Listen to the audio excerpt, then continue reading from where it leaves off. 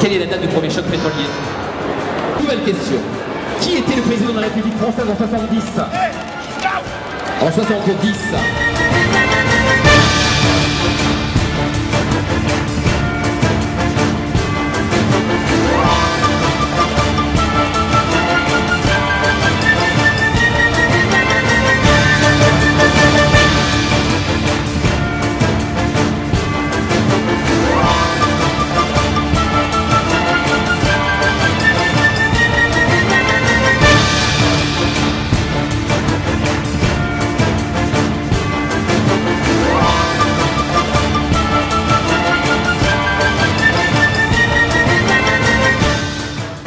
Gagnait l'Eurovision en 77 avec L'Oiseau et l'Enfant, dernier succès français à ce célèbre concours Le violet, tu me dis